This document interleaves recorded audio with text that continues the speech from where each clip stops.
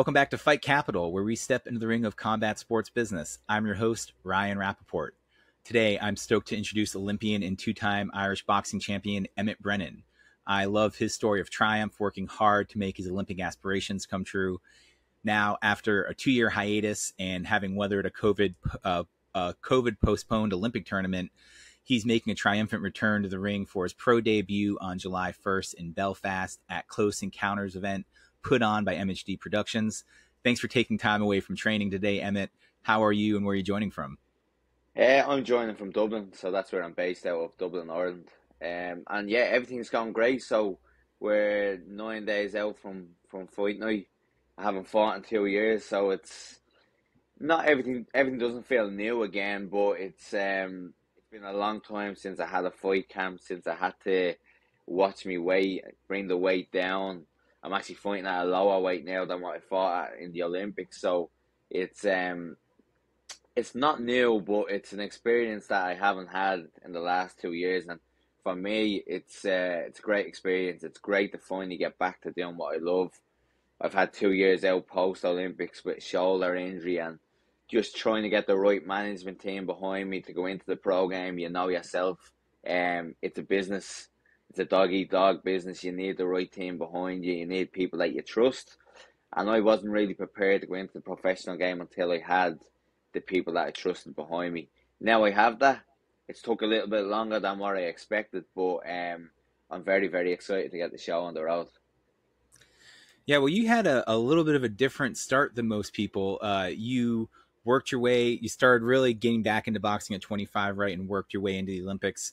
Can you tell me a little bit about what contributed to the late start and that passion for getting the Olympics and that long journey there? Yeah, so I've boxed all my life. I've boxed since I was 10, but then once I got to like my early 20s, like a lot of people, I suppose in America, they have college or they're going to work. Um, you're just at an age where you thought you have to start earning a living. You start have to start bringing money in, standing on your own two feet. So I sort of went away from the sport of boxing. Um, something that I, I intensely done. I just gradually went away from the sport, and then I got to roughly around age twenty three, where like age twenty one to twenty three, I was still sort of stepping my feet into the ring here and there. I was training, I was doing little bits, and then I got to twenty three, and I was working as a plumber at the time. Um, it was just it was just too hard to juggle everything and try to get the boxing on top of it on top of that, I wasn't really doing well. If I'm completely frank and honest, I wasn't doing well with boxing. And um, my performances were dropping. I was losing a little bit of love for the sport, and I went away completely from the sport roughly for about eighteen months. In that eighteen months, I became very, very unhappy. A lot of things in my personal life weren't going right, and I just went when I got to like age twenty five. I was like, I am really unhappy in life. Um, I was like, what makes me happy? Boxing is what made me happy. But I'm I'm 25. I'm in my mid 20s. It's very very hard to go back. And if you are going back, you got to be all in. You got to go completely flat to the mat to try to get to the top. At this stage, I'd never really. I wasn't one of the top amateurs in Ireland, so to have the dream of going to the Olympics was really one. It was fascinating. Two, it was scary, but three, it was kind of unrealistic from the outside point of view like for me, it wasn't unrealistic, but for other people looking in, they would have been saying, would have been saying there's no chance. Sure, he's not even he's not even at the top end of the boxes in his own country, never let alone in the world. But for me, I just I just set out on a journey. It was like a journey of self discovery to see how far I could push my body and how far I could push my mind. And I knew it was going to be very very hard. I I know I wasn't naive, and I didn't think it was going to be an easy journey. It was there was a lot of downs on the journey. Obviously, there's the highs of getting to the Olympics and the highs of winning national titles and fighting for your country and how proud that makes your family, your friends, yourself. It was great, but there was there was so many downs on that journey. You know yourself from boxing. Everyone only sees the peaks, they only see the highs. But for me, it was just a it was a journey of self discovery. I really discovered who I was as a person I'm a men, I'm mentally a very strong person, and I needed that along the last four or five years to get to the Olympic Games. Well, I read how supportive your family had been contributing to this hard work that you were putting. I mean, you were, from what I understand, you were working a full time job, uh, going to university, and preparing for all of this, right, over the course of time. Um, can you tell me a little bit about what that support from your family and network has meant for your career and where you're at now? Yeah, like without without the family support and friend support, there is no real career because, as you said, I was studying. I was in college at the time, university. It was online, so it was it sort of it helped me that was online. I could study in my downtime, which is great. But you still got assignments and stuff like that on top of it, and it's it's very very stressful because you got deadlines on top of your own training. Then I was working in a gym I was working roughly 20 to 30 hours on top of being a full time athlete and a, a college student. So, without the family support, especially, it's impossible. Now, I know in America, a lot of people they move out of home at like 18. In Ireland, there's a housing crisis where, like, I'm 32 now. When I was qualifying for the Olympics, I was like 27, 28, 29, 30. And a lot of people that age in Ireland are still living at home because the prices of houses in Ireland has gone insane. Um, the salary in Ireland at the moment isn't that high, so a lot of people my age are still living at home, and I had I had no other choice but to live at home with my parents and my family while I was going after the Olympics because financially it wasn't um it wasn't actually possible to go after that dream if I moved out of home. So I was living at home. That was one big support. Then you have the luxury of mother doing the cooking at home, making sure everything is in order. These small little things that I genuinely I didn't have the time for because my time was consumed with training, work, and college. After that was just sleep and rest. And it was like Groundhog Day. That was every single day. So I done my training Monday to Saturday. I worked Friday, Saturday, Sunday, and Monday when I wasn't doing the training and then I done all my college work on top of that. So without that family support and that network of people actually taking a little bit out of their life to make things easier for you, it it would not be been possible. There's no way. Yeah, it's a great point. I mean, that's a thing in the U.S. here too. The those commercial realities and challenges that athletes at an amateur level, which is what they call Olympic athletes, which there's nothing mm amateur about no. getting to the Olympics, which has always bothered me. And we've seen that changing in this whole thing called uh, NIL name, image, and likeness. So that's good. But I know a lot of Olympic athletes are faced with that ability to be able to support themselves while they're cha- changing or start training to achieve their dreams. And, you know, there's just, can you tell me a little bit about what you faced going to the Olympics and even, I guess, when transitioning post Olympics to professional sports, what that's looked like? Yeah, so like as you said, the biggest strain is probably finance, financial strain. Um, yeah, and age, as I said, twenty seven to thirty years of age, you should be bringing in a good salary. You're near enough, near enough coming to the peak of your working career. Like you, you should have been in a job for like the last seven or eight years. You're getting, you're walking up the ladder. I sacrificed all that for the Olympics. I, I left my job leaving your job, you're leaving security, the security of having a, an income coming in every week. Um, I wasn't actually on funding. I wasn't a funded athlete with the Irish team, so it meant like some athletes do get on funding where they get um they get grants and sponsorship off the Irish government.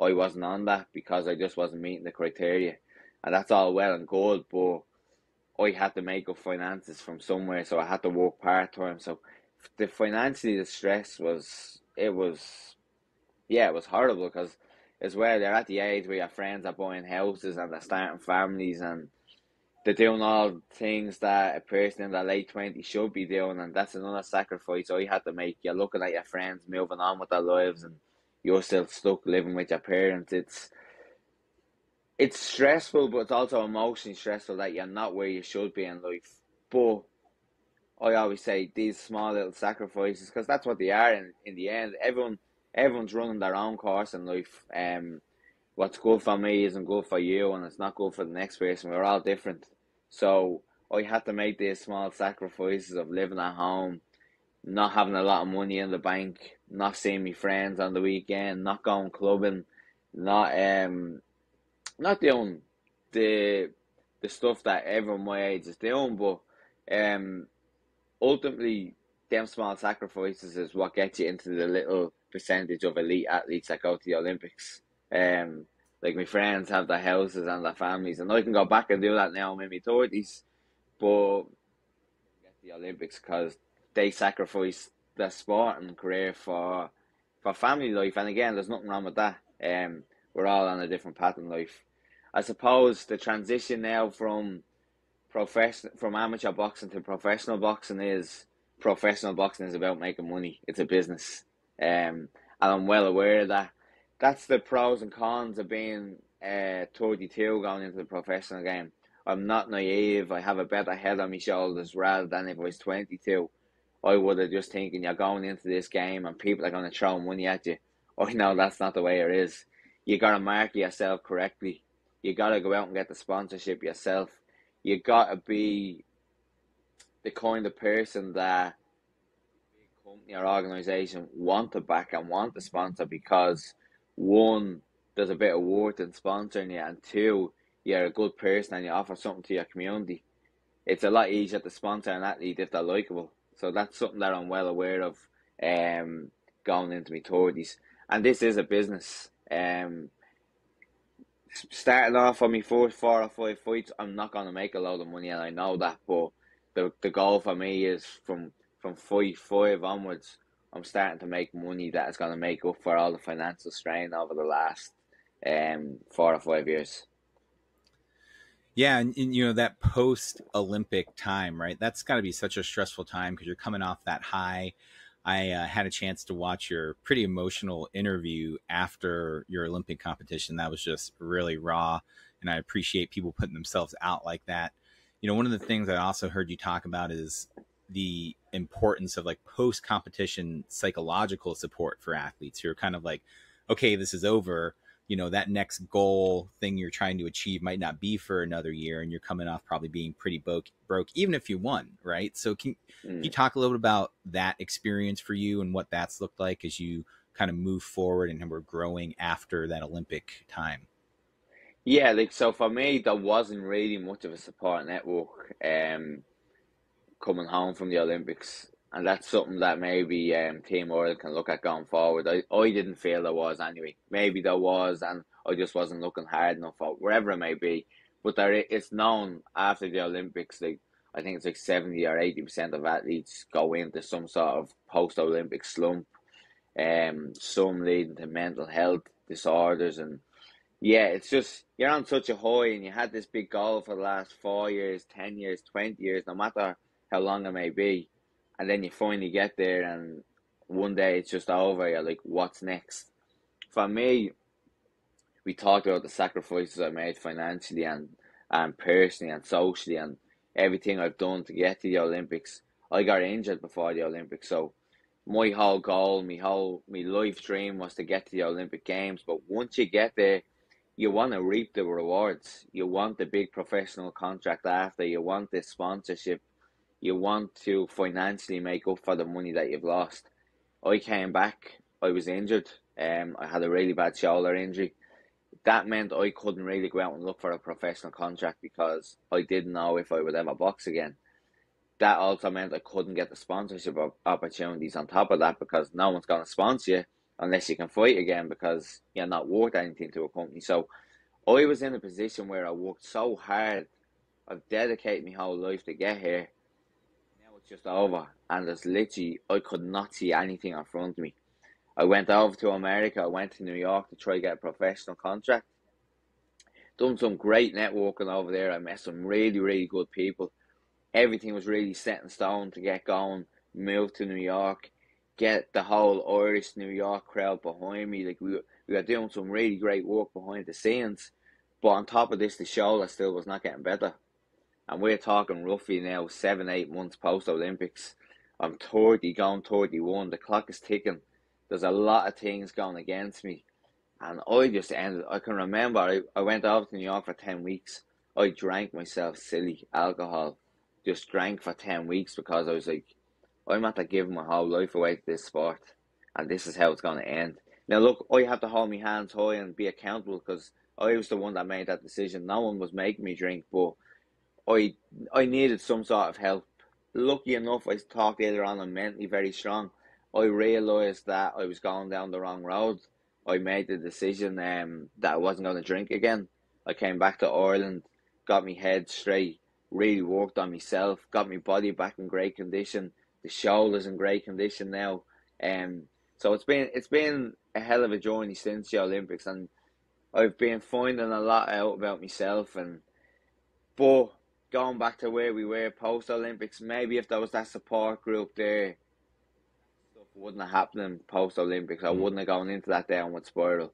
Who knows? But it should at least be there, and it should maybe be a little bit more enforced on people coming back from the Olympics because it's known that there's um there's post Olympics depression and post Olympics mental health problems. Yeah, and as someone I I stopped drinking 7 months ago and I've just felt so good. You know, and whether or not you're like an addict or, you know, it's ruining your life, there is like a quality of living that you don't really see the other side of when when you're not sober, right? And so mine wasn't mine was just for the heck of it, and I've just felt so good just doing doing it for a month. I'm like, I'm gonna keep it going. So I I totally align with that, and I know how much better I feel, not just physically but mentally after doing that. And I can only guess for you too. I mean, finding this new team, working with MHD Productions. Uh, can you tell me a little bit about your relationship with that group and who you're training with these days?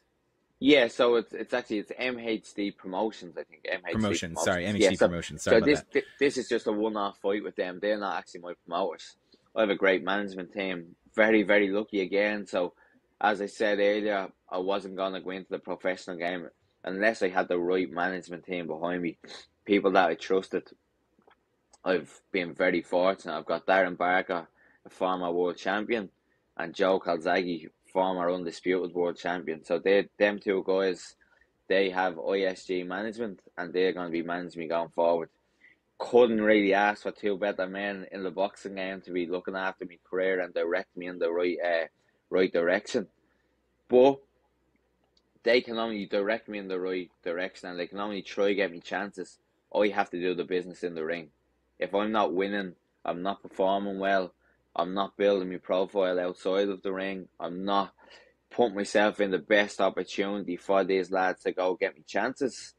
Then it doesn't matter who you have directing your career. I still mm-hmm. got to do the work in the ring. I got to do the work when I'm training.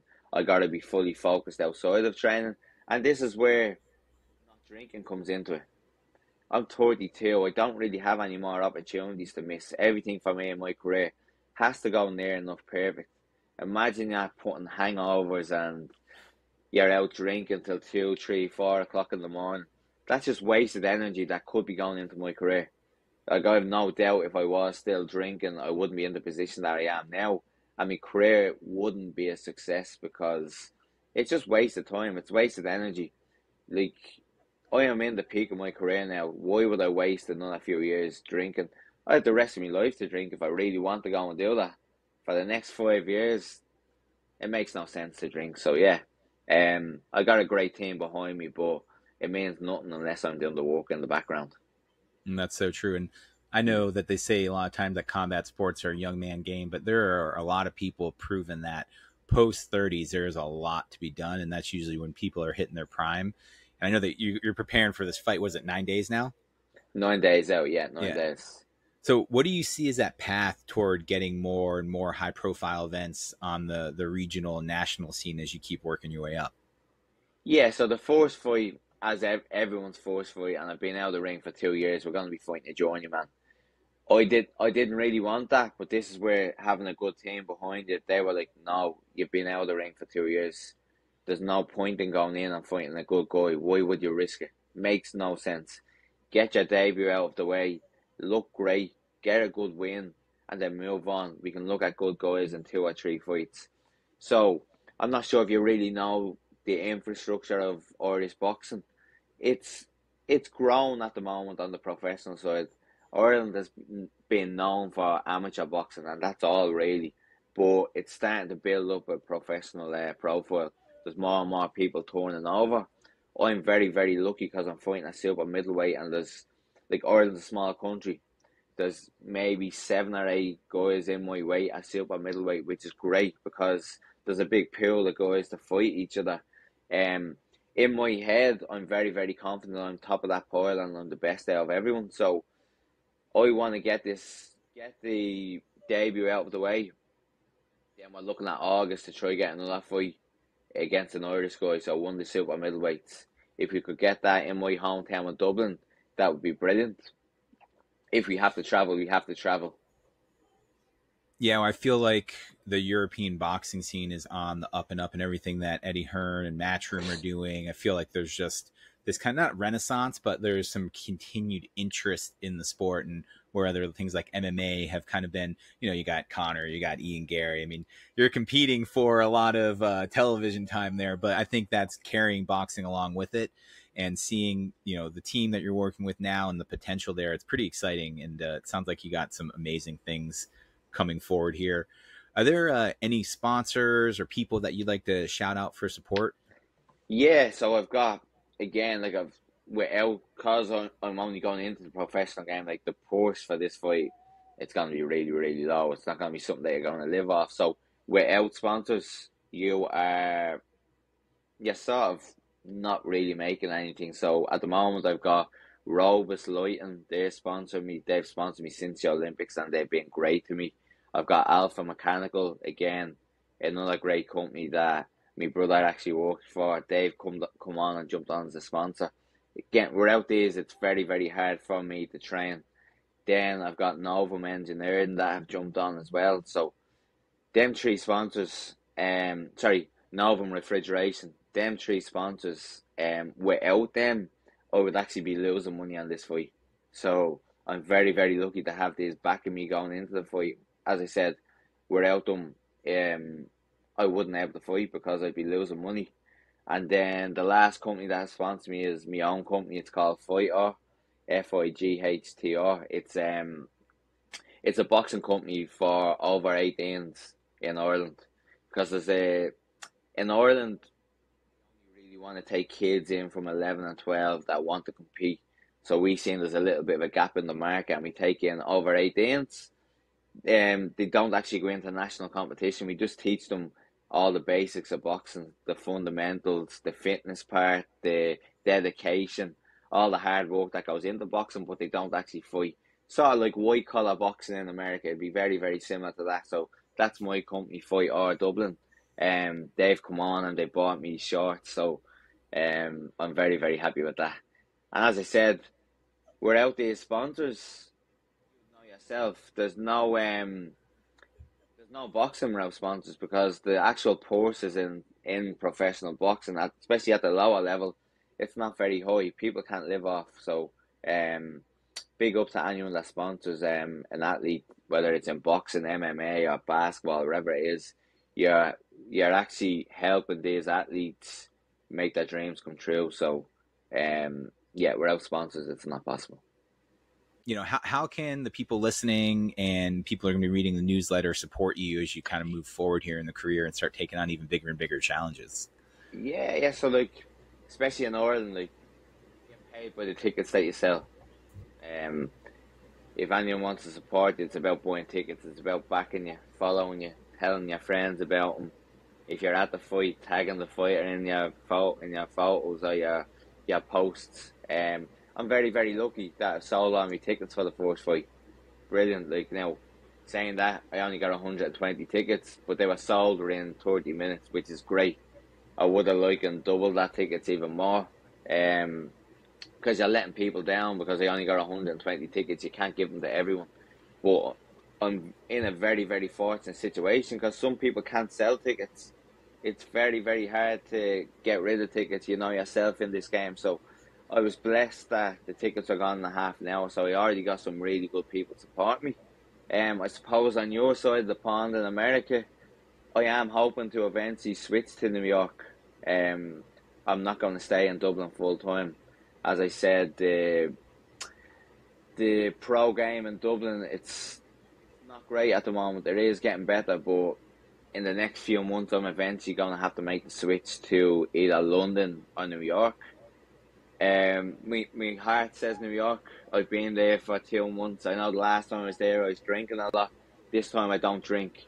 There's a great Irish community in New York, and the Irish back back their own. They get behind their own. They support their own. So I think if I went to New York, I would do a crazy amount of ticket sales because you're constantly around the Irish community over there. So if there's any of the Irish community listening in New York, um, keep an eye out for me. Hopefully, maybe the start of 2024, I'll, I'll move to New York and base myself out there.